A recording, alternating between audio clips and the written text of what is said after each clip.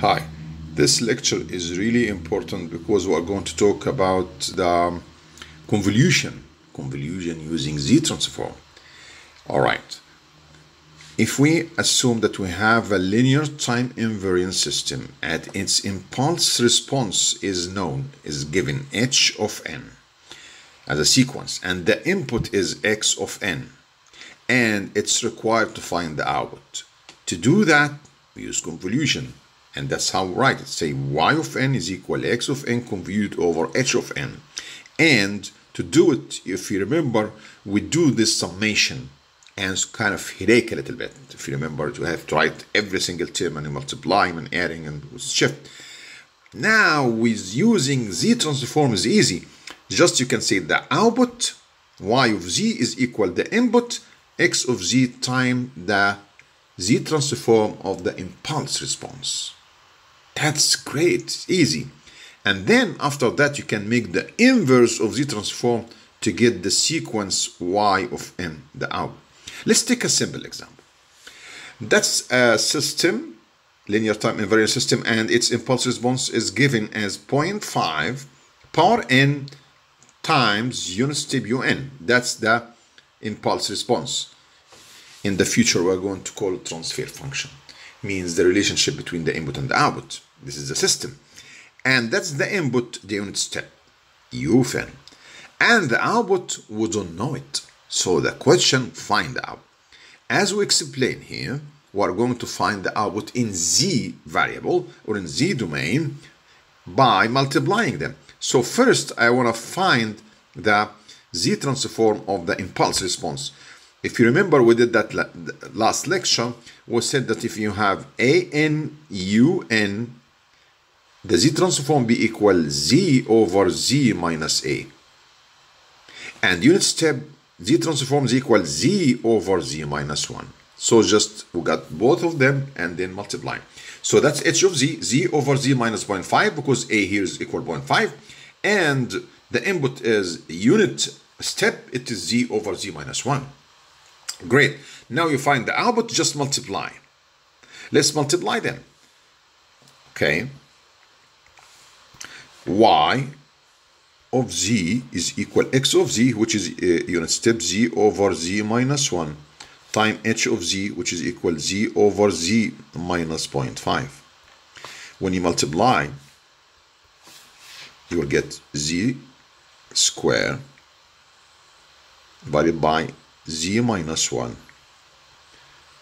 z minus 0.5 now I want to find the inverse of yz to get y of n, the sequence. Well, there are steps and I'm going to explain it in detail next lecture, but right now let's do it in a simple way. Remember that to find the inverse, it's very important you divide the expression you have by z. It means you have first to divide yz of z over z. You may ask why you are doing that, dividing by z. I will, I will explain it once just to finish. You will know the wisdom behind this one. All right. Now, I wish now this expression to divide it into two terms. This technique, we call it partial fraction. If you don't understand what does mean partial fraction, let me just uh, give you uh, like simple expression. When I say um, 1 over x uh, plus um, 2 uh, over y, what will the answer? So you will say it's equal xy and then you have y plus 2x. Now, if you have this, and let's imagine that you don't know the origin of this one. We'll cover it here. And the question is, I want to divide it into two terms, one x and one y. So what should you have here? So you put constant and you start to do it. So that's mean partial fraction, how to get it back to the original. So that's what I'm doing. That's exactly what I'm doing. I'm just saying I have the expression and I have the denominator consists of two factors. I factor them. But the question is how I find A and B. All right. Well, I will just simplify it. I will say common denominator will be z minus 1 times z minus 0.5 and then I multiply a by z minus 0.5 and multiply b by z minus 1 and just let's simplify the numerator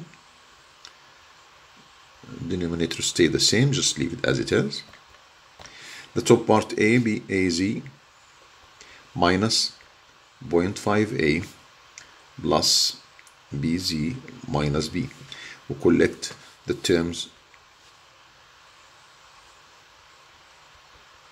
z minus 1 z minus 0.5 is you have az and you have bz so you take z as a common factor. So what's left? A plus b the other constant term negative sign is a common factor you have 0.5a and you have b.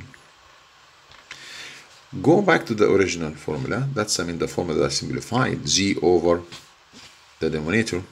So this one should be equal to the original expression. Z over z minus 1 divided by z minus 0.5 now uh, the denominator the same both are the same. So numerator should be the same. Z has a coefficient of 1 z has a coefficient a plus b. So that's the first relation. A plus b is equal 1 and there is no constant term. You can say 0 so 0 is equal 0.5 a plus b. So 0.5 a plus b equals 0 solve these two equations for a and b. You'll find that a is equal to and b is equal minus 1 now I can go back and put in the, put in the expression the value of a and b. And that's by the way uh, this expression it's equal y of z over z. So just let's just do it in one step. Y of z over z will be equal a which is equal to over z minus 1 plus b which is minus 1 over z minus 0.5 so that's the expression of y of z over z. Now I want to find y of z.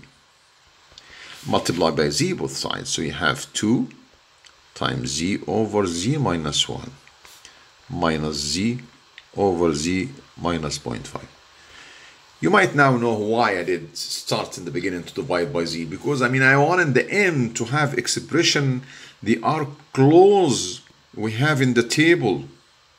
Always in the table find z in the top and z in the bottom. If that's make it easy. That's why I, I, I divide in the beginning then I multiplied after I finish because I know in the in partial fraction I'm to have in the denominator constant and there is no in the table constant only. There is always constant times z so that's why I did that now I the, the easy step compare these terms that you got by the z transform pairs in the table. In any way you would be familiar with this one is unit step.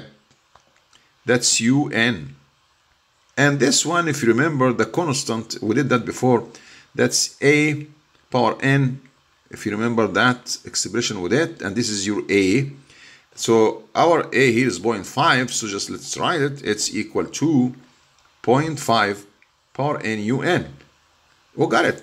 So y of n is equal to 2 un minus 0.5 power n un you got un here a common factor. So the output will be 2 minus 0.5 n un means start from 0 I can now even uh, sketch it as a vertical axis horizontal axis this is n and this is the output y of n. That was the question. All right. How can calculate it? All right. It, just I mean simple just take some values. N when n equals 0 what you get? 2 minus 0.5 power 0 is equal 2 minus 1 is equal 1 so the first value will be 1 all right. At 0 and then you have n equal 1 so 2 minus 0.5 is equal 1.5 So it will be 1.5 at n equal 1. Obviously, it's decreasing every time.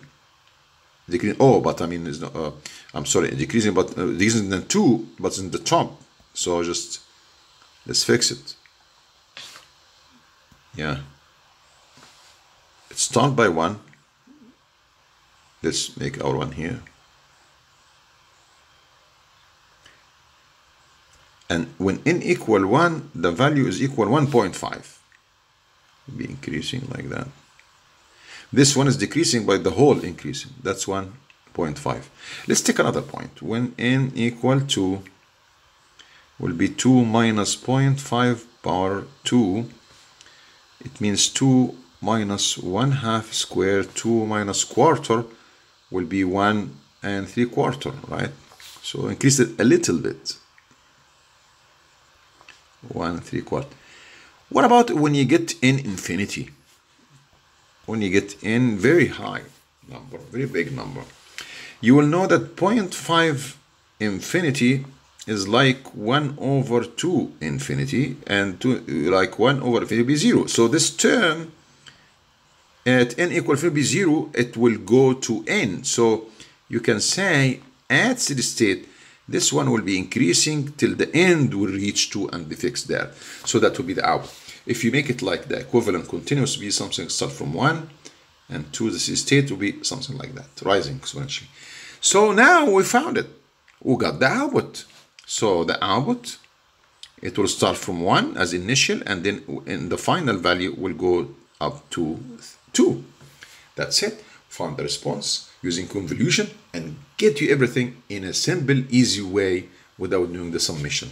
I hope that was very helpful. In the handout, you'll find different example. Please read it. It's very good example too. Okay, till, till then.